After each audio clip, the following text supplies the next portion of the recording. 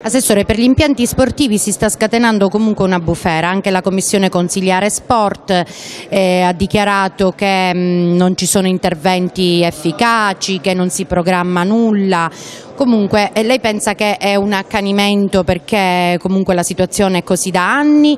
o che qualcosa stia accadendo?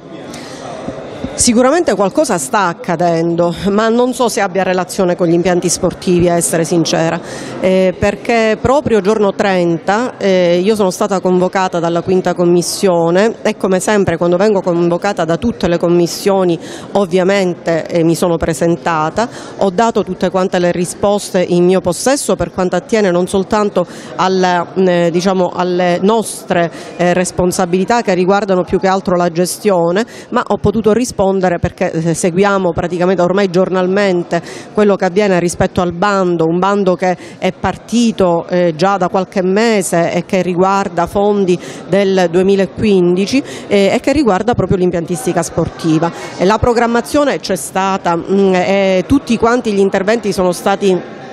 come dire, eh, programmati con l'ufficio tecnico e con, eh, non soltanto con l'assessore Falci ma soprattutto con l'ingegnere Tomasella che poi ha la diretta responsabilità anche di costruire bandi e i bandi sono stati pensati proprio per il tipo di interventi che avevamo programmato e che riguardano prioritariamente le agibilità, agibilità tecniche strutturali per esempio per quanto riguarda il Tomaselli e agibilità di tipo igienico-sanitario per quanto riguarda il Palmintelli ma non solo, appunto appunto elementi come quelli del Palacannizzaro che sono così da anni, non da ora e che, su cui non si è mai intervenuto, li abbiamo programmati. Eh, diciamo il, eh, il, ritardo è dovuto semplicemente al bando eh, di manutenzione dell'impiantistica sportiva, ma non è mancata la programmazione, ci dispiace ovviamente che tutto questo abbia dei tempi tecnico-amministrativi di cui sicuramente l'ufficio sport e l'assessore allo sport non è responsabile, credo che non ci sia neanche anche una responsabilità da parte dell'altro ufficio, cioè da parte dell'ufficio tecnico perché si è mosso per quelle che sono le norme di legge. Dopodiché eh, le risposte sostanzialmente a tutto quello che è stato evidenziato in questa lettera pubblica sono già contenute agli atti del verbale della quinta commissione per cui basta leggere quel verbale per accorgersi che eh, l'attenzione ovviamente c'è, sarebbe, sarebbe, un controsenso politico prima ancora che eh, tecnico non interessarsi della propria delega, di una delega che tra l'altro ha un elemento di visibilità eh, molto forte perché c'è un impatto sociale rispetto allo sport che è visibile, come abbiamo detto poco fa, dalle scuole eh, sino a chi invece pratica lo sport in maniera non dilettantistica ma anche professionale. Però ripeto, ehm, molti dei, degli elementi che sono stati sottolineati riguardano uno status degli impianti che è ormai abbastanza datato, eh, sul fatto che, e l'ho detto in quinta commissione e lo ripeto a, ora anche pubblicamente, sul fatto che la città abbia un numero, una quantità di impianti eccessiva che oggi con diciamo, i bilanci assolutamente asfittici è difficile da gestire, questo è un dato di fatto. E ho chiesto addirittura alla quinta commissione se eh, secondo gli amici consiglieri della maggioranza e della minoranza loro avessero delle proposte in merito eventualmente a delle mm, dire, eh, attenzioni che dovrebbero essere riservate più ad un eh, impianto piuttosto che ad un altro, perché è chiaro che alla fine non si potrà reggere tutto neanche con le esternalizzazioni, perché ricordo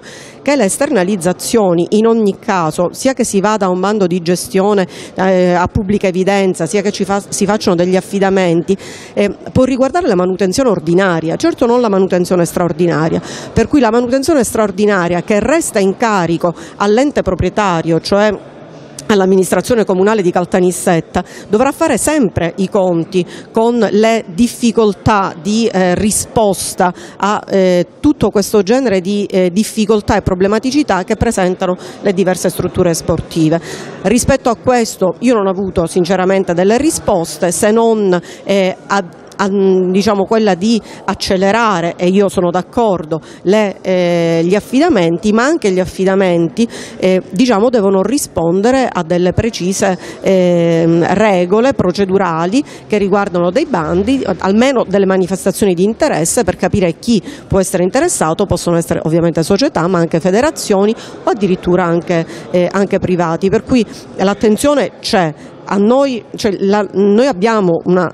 chiarezza rispetto a ciò che vogliamo fare. Da cosa si evince? Dal fatto che è stato richiesto eh, a fondo perduto un bando per mm, il manto sintetico a Pian del Lago 1, cioè al Tomaselli. Questo cosa vuol dire tradotto in, eh, diciamo, dal punto di vista eh, politico? Vuol dire che eh, la città anni fa ha investito su un progetto di cittadella sportiva a Pian del Lago. Su quello dobbiamo puntare, fermo restando il fatto che il Palmintelli potrà restare o non restare, poi dipende dipenderà dal PRG che comunque prevede altro, ma potrà restare per allenamenti, potrà restare per giovanili, certamente anche dal punto di vista della sicurezza